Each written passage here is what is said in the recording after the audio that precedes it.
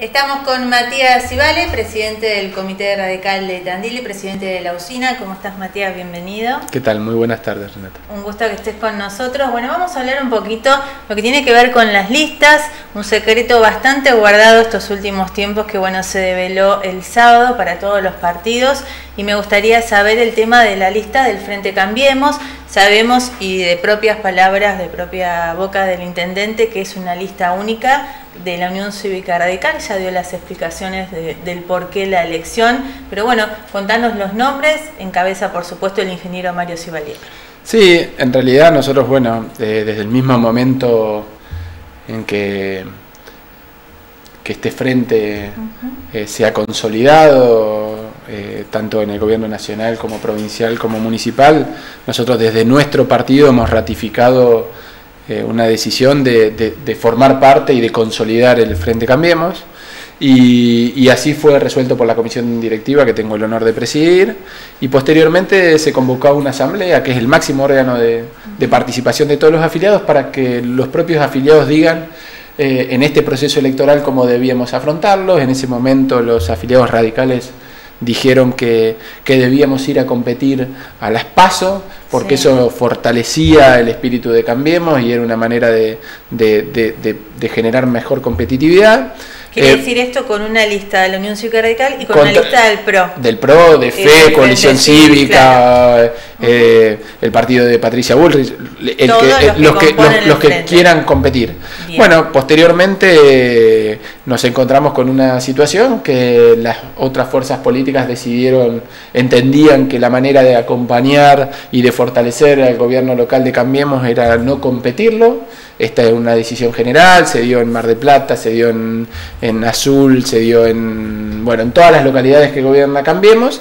Y bueno, entonces nos tocó conformar una lista que en este caso termina siendo la lista de Cambiemos, la, impulsada por el radicalismo, pero que no necesariamente son todos afiliados radicales. Digamos, hay muchos referentes sociales.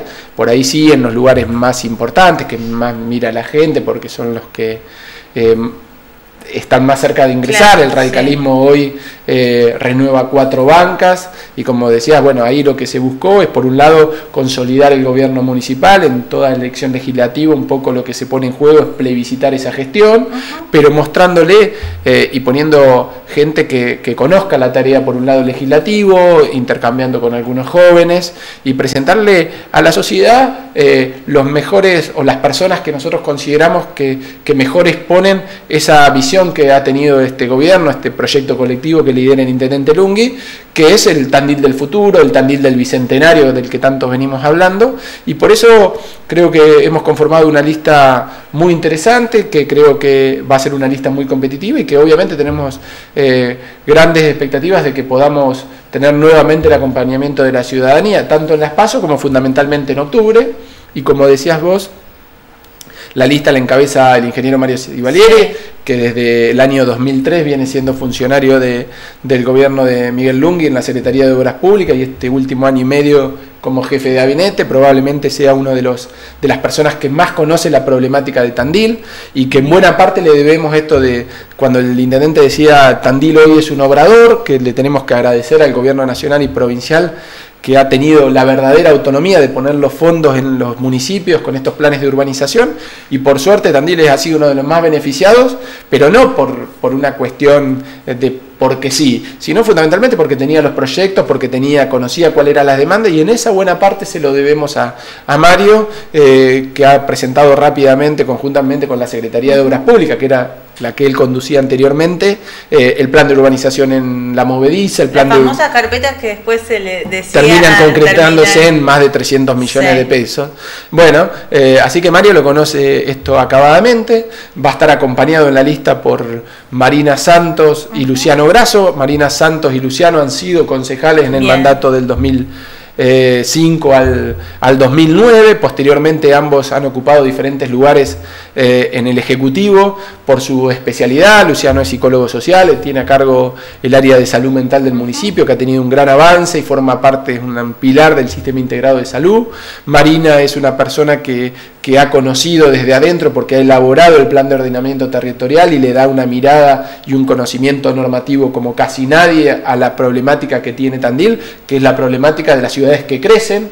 Siempre decimos Tandil es la ciudad del futuro, pero es la que más crece y esos crecimientos particularmente con ellos dos. Con ellos dos y con Marcela Bairo, que es una abogada eh, muy buena que además ha tenido una una tarea muy ardua en lo que tiene que ver con la UMIC, y, que ha tomado por ahí trascendencia pública a partir de los logros que ha conseguido, por ejemplo en lo que tenía que ver con la tarifa de gas, que consiguió que Tandil eh, esté declarado como zona fría y esto ha permitido que el incremento tarifario en Tandil sea eh, menos, de 6-7 veces lo que fueron en el resto de las ciudades, pero más allá de este caso, que por ahí es el que más trascendencia tuvo, ha tenido casi un millar de, de conflictos resueltos a través de la mediación y eso, y con algunas cuestiones también vinculadas a, las empresas y demandas naturales que atiende la, oficina. Es una persona eh, muy, muy trabajadora en estos temas y me parece que darle un contenido también normativo al Consejo en ese aspecto era muy loable. Y posteriormente hay un grupo de jóvenes como Alejo Alguacil, Andrés Mestralet y Melisa Greco. Melisa es nuestra vicepresidenta de la Juventud Radical de la provincia. Así que me parece que le damos un abanico más que interesante a, los candidatos, a los concejales, que bueno, obviamente después, en base a las personas, a las propuestas, pero fundamentalmente al proyecto que hay detrás. Digo, acá no se eligen personas sueltas, se elige cuando uno termina eligiendo, claro, y un conjunto de personas. No es, acá no hay un único salvador. Y creo que nosotros seguimos mostrando un gran equipo, obviamente conducido por el intendente Lungui, pero con personas que, que, todos lo conocen. Mario, más allá de su función pública, ha sido presidente del Club UNCAS, ha tenido, ha sido secretario general de la Universidad Nacional del Centro. Digo, es una persona que todo el mundo conoce y que lo conoce de Tandil. Digo, no es alguien que, que está acostumbrado a verlo por la tele, es una persona que la camina a la ciudad y que conoce los problemas y en definitiva yo creo que en eso eh, la gente de Tandil siempre elige a quienes le resuelven los problemas y en este caso, por eso eh, este proyecto que encarna Miguel Lungui ha ganado 11 elecciones consecutivas. Van por un lado también de conocimiento de la gente, ¿no? no Porque a veces se pide, la gente dice, bueno, queremos ver caras nuevas, pero es difícil, ¿no? Arriesgarse también con caras nuevas porque por ahí no se le tiene un trabajo conocido. Sí, a ver, nosotros tenemos la suerte de hoy estar teniendo el Ejecutivo y ahí hemos incorporado caras nuevas, incluso cuestiones que trascienden y que no tienen una afiliación partidaria. Digo, eh, Jaime Fini es un secretario de, Desarrollo Local que no que tiene, viene que viene del sector privado y que eh, ha, tenido un reconocimiento muy importante con su empresa particular. Atilio de la Magiora era un abogado eh, presidente de la Asociación de Abogados de Tandil, pero que tampoco tenía una afiliación radical y es una cara nueva que hemos sumado hace ya, ahora un poco más, cuatro o cinco años. Roberto Guadaña fue decano de la Facultad de Arquitectura de Mar de Plata durante ocho años y es una cara nueva en una secretaría como la Secretaría de Obras Públicas. Mm. Entonces, las caras nuevas están.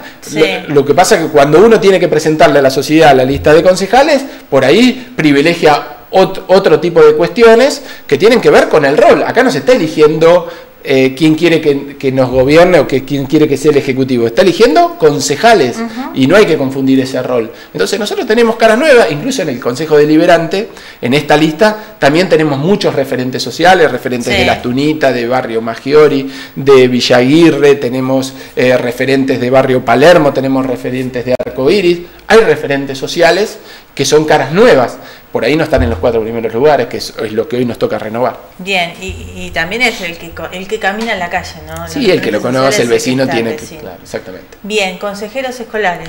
En la lista de consejeros escolares, eh, nosotros considerábamos que a partir de la, de la firme decisión de, mantener e incrementar lo que es el fondo educativo por parte de la gobernadora, eh, hoy el Consejo Escolar ha cambiado drásticamente su función eh, y no estamos en, o, queríamos alguien que, que, encabece la lista para que después termine siendo, obviamente, si las elecciones eh, no son favorables, el presidente del Consejo Escolar, y en eso necesitábamos una persona con una experiencia y, y de los tres actuales consejeros, eh, se definió que, renueve el actual presidente, que en realidad Cristian lleva dos años o un año y medio en realidad tan solo desde la asumió el reemplazo, en reemplazo de Oscar Mastropierro, así que bueno, el intendente y el partido le ha ratificado la confianza a Cristian en ese sentido, va a encabezar la lista.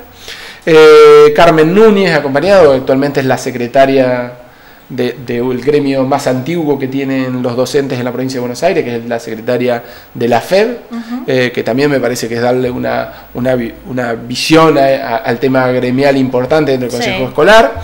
Eh, Juan Chilloca, que es un joven que, eh, está eh, graduándose en Ciencias de la Educación y viene trabajando como secretario administrativo. con conocimiento específico. O Verónica Ricciardi, que es vicedirectora de la Escuela 21 en el cuarto lugar. Digo, tiene, que, ver con eso. Por eso la pregunta es porque, bueno, se abrieron muchas listas, por supuesto, de muchos partidos y por ahí en lo, que tiene que ver con consejero escolar, por ahí no vemos gente y mi pregunta es, ¿tiene que estar capacitada con la docencia? Yo lo asocio más a esas definiciones.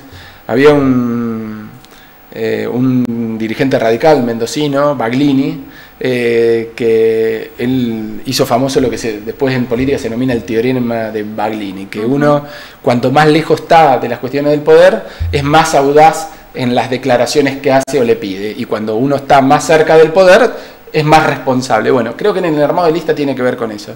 Cuando uno está con el convencimiento de que el 10 de diciembre esos que ponen la lista tienen que asumir esas responsabilidades, tiene que ser responsable en las personas que pone, que tienen que tener conocimiento de la materia en que les va a tocar. Si uno cree que está muy lejos de tener la posibilidad de ganar, puede poner a cualquiera, total lo pone para no ganar. estamos viendo que Otavis, la Tota Santillán están armando una lista. Yo creo que tiene que ver con esto, de que la verdad es que no tengan expectativas de ingresar, porque si no... Eh, Dios me libre esta Argentina. A eso te iba a decir, muchos famosos, muchísimos famosos, también la debemos... No está mal que, que, digo, que tengan el conocimiento. Ahora, me parece que cuando uno le toca ocupar determinados lugares, tiene que tener eh, algún grado de conocimiento porque al día siguiente se apagan las cámaras, se apagan eh, los flash y lo que tiene que hacer es resolverle los problemas a los vecinos. Y los vecinos van a demandar porque los han elegido para eso. Y uno tiene que saber de qué estamos hablando, de que cuando tenemos un problema en la calle Labardén sepamos dónde está la calle Labardén, si estamos hablando de, de Villagaucho sepamos dónde queda Villagaucho, si estamos hablando de Arcoíris, si estamos hablando de la urbanización de Movediza sepamos dónde cuestiones mínimas que a veces eh, uno, bueno, los ve en los debates o en los intercambios, que por eso digo de la audacia en el teorema de Baglini. Y me parece que en eso nuestros candidatos, tanto en el Consejo Escolar y fundamentalmente en el Consejo Deliberante, Mario como cabeza de ese grupo de concejales, lo que imprime es eso, la seriedad y la responsabilidad de quien gobierna, sabiendo las cosas que hemos hecho mal, reconociéndolas, sabiendo que tenemos mucho por mejorar, pero con la visión muy clara de que queremos que el Tandil del Bicentenario, el Tandil de los 200 años allá en el 4 de abril del 2023, Tandil sea la ciudad intermedia con mejor calidad de vida de todo el país. No estamos tan lejos, en las últimas, en todas las mediciones que se hacen, Tandil es una de las tres ciudades con mejor calidad de vida y esto lo hemos logrado entre todos los tandilenses, el sector privado, las ONG y el gobierno municipal en estos últimos 10 años. Bueno, el desafío está por mantenernos y mejorarlo para los próximos años. Eso te iba a preguntar, porque los argentinos nos cuesta mucho y no estamos todavía acostumbrados, lamentablemente, a los objetivos a largo, a largo plazo, ¿Qué es lo que tendría que ser, ¿no? Eh, ¿Cómo ven el gobierno de ustedes? Siempre hablas de eso, de un Tandil, siempre se nombra el bicentenario a largo plazo, justamente. porque justamente, a ver, nosotros las principales obras que hoy se están haciendo, 300 millones de pesos, por ahí la gente dice, ¿dónde está? Bueno, por ahí hay obras de asfalto que se empiezan a ver y de pavimentación y repavimentación, pero las principales obras tienen que ver con el crecimiento de la ciudad. Son obras que están debajo del suelo agua para los tandilenses, gas para los tandilenses. Cuando digo tandilenses digo todo. Estamos llevando el gas a Cerro León, estamos llevando eh, el gas a, cuadras de tunita que nos faltaban, estamos eh, licitando todas las obras de agua, lo que pasó con la Elena, pero estamos llevando cloacas en todo lo que faltaba conectar. Estamos y eso no se ve, pero estamos llevando los servicios básicos al 100% de los tandilenses. Y ese es el tandil del futuro. El tandil que crece y que hay que ordenarlo. Digo, cuando miramos cuáles son las principales problemáticas que hoy tiene la ciudad, tienen que ver con eso, con el crecimiento, con el, tránsito. Hoy cruzar, hoy cruzar Tandil. Eh, a mí me tocaba aquí a solo tres cuadras, venía a jugar a la paleta de chico al Club Ferro y me cruzaba Tandil, yo vivía en Fuerte Independencia de Constitución y venía en la bicicleta por el medio del centro y no andaba nadie. Hoy eso es una tarea casi suicida, venir eh, hay mucho tránsito. Bueno, esa es una problemática y, el gobierno lo tiene muy claro y ha trabajado y está presentando el proyecto del CDU, que es el, centro de, de distribución y logística en las afueras para que no tengamos más camiones en el centro y eso también implica una normativa local para evitar que esos camiones, pero también implica que eso tal vez se recargue en el precio de los productos porque hay un transbordo. Trabajar en eso es pensar en el desarrollo de Tandil. Pensar cuando decimos, bueno, pensemos en ordenanzas que fomenten el medio ambiente, la generación eléctrica eh, limpia. Eso es pensar el Tandil del futuro. Entonces lo tenés que pensar con gente que sabe más y conoce la materia. Hmm. Obviamente que bienvenido que los famosos también se quieran involucrar en, solucionar las cuestiones a la gente. Tendremos que ver si la gente a quién elige a la hora de solucionar esos problemas, porque hoy se preocupa por esto, pero la gente está preocupada por los problemas de todos los días. Por supuesto que sí, por los problemas que van a venir a un futuro y que por ahí no se va a ver las ganancias. Ustedes por ahí no van a ver las ganancias de estos objetivos que se plantean, ¿no? seguramente. Que eso tendría que ser lo importante, lo que se cumpla eh, cuando se tenga que cumplir. Eh, ¿Costó mucho armar la lista, Matías? ¿O se barajaba? Sí, siempre cuesta porque, bueno, eh, hay muchas expectativas, hay muchas personas que que es loable que dentro de, un espacio político consideren que están en eso, hay otra gente que uno considera que tendría que estar ocupando y por ahí no quiere, o porque se siente más cómodo en el lugar que está, ya sea en el Ejecutivo o en el sector privado acompañando. Entonces, bueno, eso siempre genera algún tipo de, de, de, rispidez. Bueno, pero uno está acostumbrado también, es cierto, a mí me ha tocado formar, nosotros tenemos una mecánica, después del año 2003, donde se eligió por método de preferencia a los candidatos, el radicalismo se ha dado lo que nosotros denominamos una junta promotora, que está representada por todos los órganos institucionales de nuestro partido. A mí me ha tocado ocupar, bueno, las últimas dos como presidente del partido, pero las últimas cinco por representación del Ejecutivo y, y, en otros espacios. Y la verdad es que nosotros, ese es el mecanismo que decimos, y nos damos las discusiones, y bueno, y después terminamos haciendo mayorías, minorías, visiones, y termina después saliendo. en dos años lo mismo, ¿no? Sí. Hay, revancha. Hay revancha. Hay revancha para, antes de irnos al corte, eh, seguimos, ¿no? Después del corte, pero para terminar, ¿cómo ves las listas de los demás partidos? La competencia, ¿no? Por así decirlo. No, a ver, me parece que la verdad es que hay muy buenos candidatos. Digo, me refiero al menos a, quienes encabezan. Digo, no, no, tengo el conocimiento acabado de todo. Pero me parece que eh, Ausa y Rogelio Néstor Ausa y, Rogelio Iparraguirre, quienes encabezan, bueno, los dos van a ir a, las pasos, van a tener competencia interna, tenemos que ver si, si después, si terminan ambos quedando por sus diferentes frentes, me parece que son dos personas con altísimo nivel de conocimiento de la problemática de la ciudad. Ambos han sido cuatro años concejal, Rogelio terminando ahora, Néstor Ausa anteriormente fue senador. Digo, en estas cuestiones me parece que lo que hace es revalorizar la competencia, me parece que son personas muy interesantes y que le van a dar a la discusión que se va a dar eh, un contenido más que interesante. ¿A futuro suman? Siempre, a ver, me parece que todos los aportes, de hecho, a ver, más allá de que uno pueda tener diferencias con, con ambos, se puede sentar a tomar un café y me parece que conocen, a ver, una diferencia importante uno cuando se sienta con ellos saben que están conociendo Tandil. Después podemos tener diferentes visiones de cómo solucionarlo, ideológica o, metodológica, pero uno, digo, yo, Rogelio tiene prácticamente mi misma edad y yo lo conozco de cuando, desde cuando salíamos, cuando nos cruzábamos de un club y jugábamos. Digo, la verdad es que eso, eh, Néstor, si bien no es nacido en Tandil, ha sido su ciudad adoptiva y no podemos desconocer que lo conoce y quienes lo acompañan en la lista, tanto Gabriela Marti, Diego Dridale, son gente de Tandil que conoce la problemática. Entonces me parece que, todo aporta. En el caso de Alessandro, bueno, es algo innovador, algo nuevo. Tendremos que ver el tiempo que le dedica a, esta función.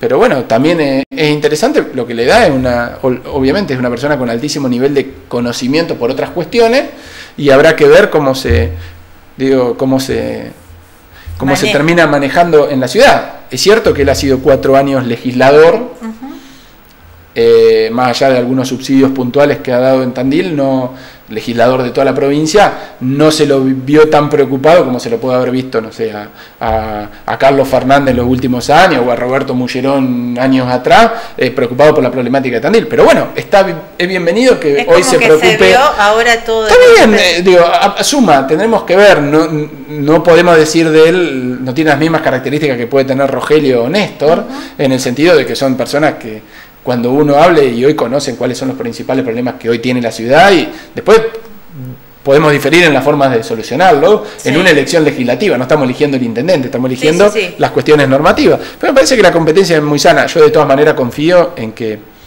eh, nuestro primer candidato, pero fundamentalmente todo el proyecto colectivo, todos los concejales que hoy forman esa lista, obviamente con la espalda del intendente detrás, sigue siendo la mejor propuesta no solo en cuanto a nombre, sino también la propuesta legislativa, que es la que vamos a poner en juego a partir de ahora con nuestras propuestas. Bien, bueno, no te vayas, que seguimos, eh, nos vamos a una pausa cortita y enseguida volvemos.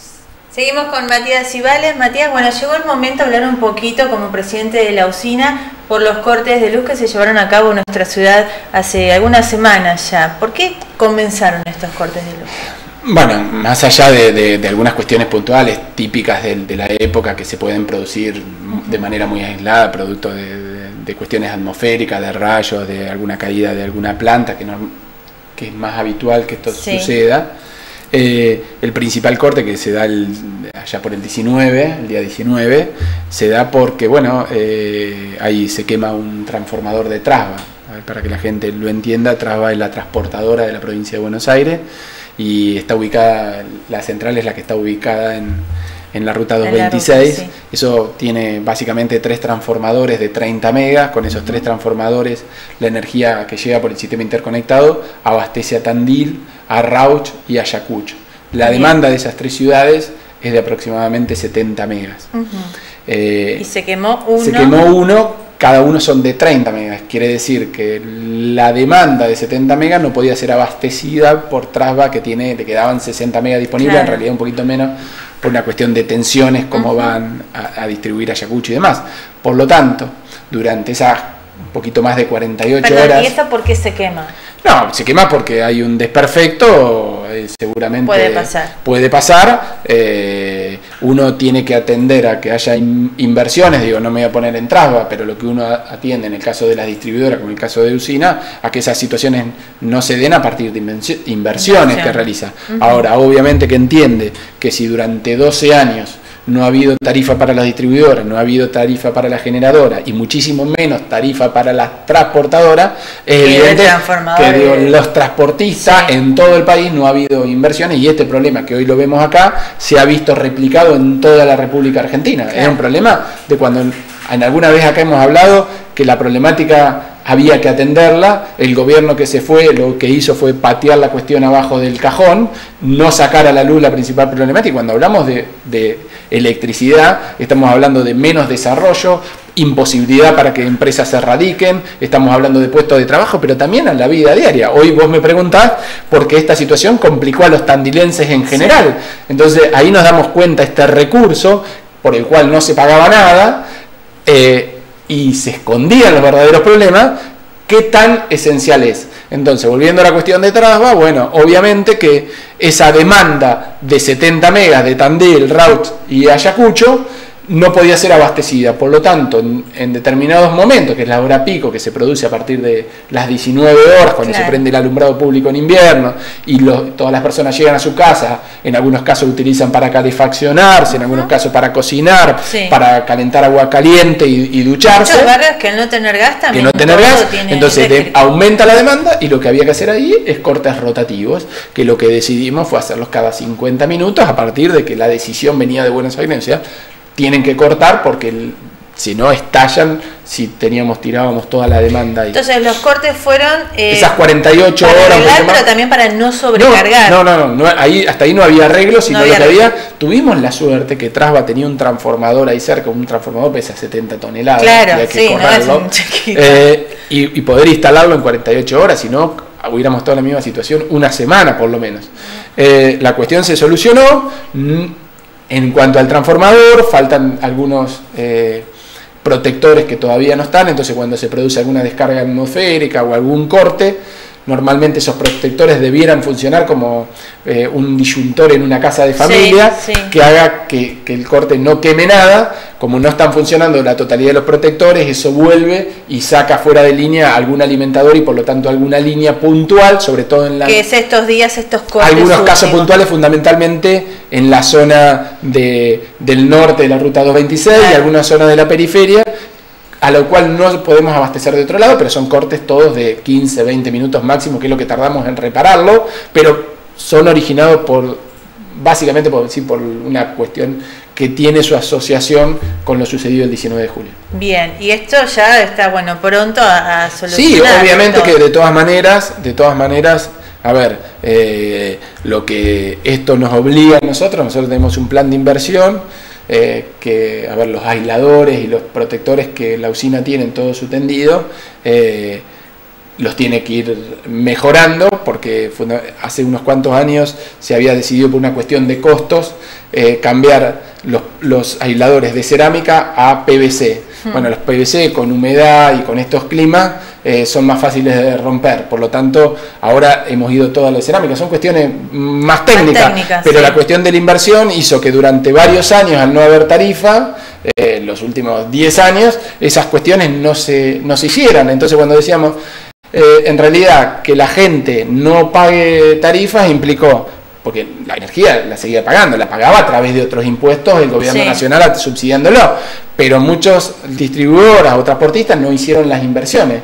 En la usina todavía tenemos niveles de corte muy por debajo estamos en los mejores niveles de la provincia de Buenos Aires porque esto se mide sistemáticamente desde los organismos de control. Pero bueno, se empiezan a notar y a veces estamos pagando las consecuencias, por ejemplo, en este caso de la transportadora o también en, algún verano de la generación, de la falta de generación eléctrica, porque la Argentina tiene 5.000 megas más de demanda de energía que lo que puede ofrecer. Por eso están las famosas licitaciones de eh, llamar a que se instalen plantas generadoras. ¿Qué pasó con la planta que se va a instalar acá? Bueno, está a punto de, estar en marcha en el mes de octubre, noviembre, eh, en, en En Eran tres, ¿no? Sí, eh, tres. En realidad va a estar digamos, lo que hace no funciona continuamente, sino cuando hay una demanda que no puede ser cubierta por el sistema interconectado, eso se prende y empieza a generar la energía. Podría cubrir Tandil, Ayacucho, Raus, Juárez.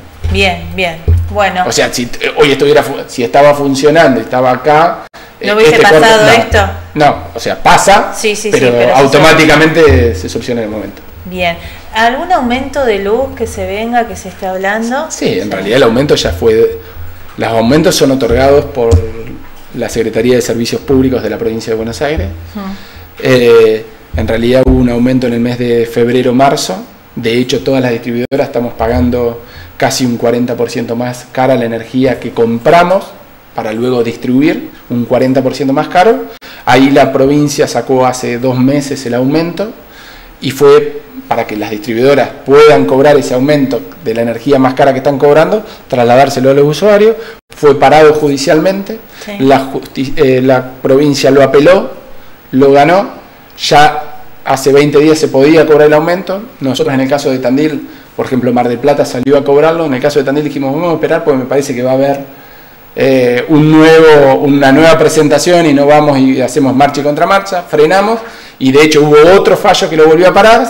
Y ahora el día jueves la provincia lo volvió a apelar y no tenemos resultado. La verdad es que tenemos una incertidumbre nosotros como empresa, como imagino tendrán todos los usuarios. Hoy, hoy yo me reúno, digo, a diario me reúno con las empresas eh, metalúrgicas, que son las más eh, electrointensiva para porque esta inquietud la tienen.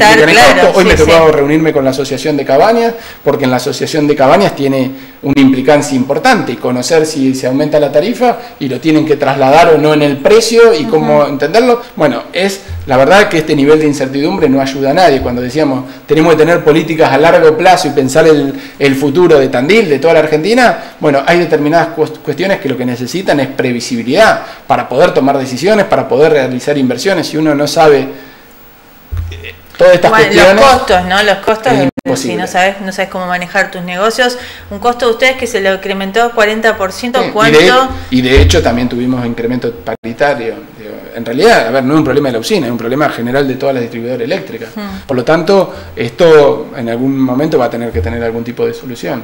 O el gobierno asumir eso con un mayor subsidio, de hecho hoy viene subsidiando la energía en un 60% y decir, bueno, paso a subsidiarla el 70%, esto quiere decir aumento los impuestos por otro lado, ¿no? Claro, sí, la, plata siempre va a salir. Eh, o bien, eh, hago que el aumento, se produzca un aumento tarifario. Bien. Bueno, entonces ahora esperando, expectativa. Gracias Matías por estar con nosotros. Nos vamos a una pausa y enseguida volvemos.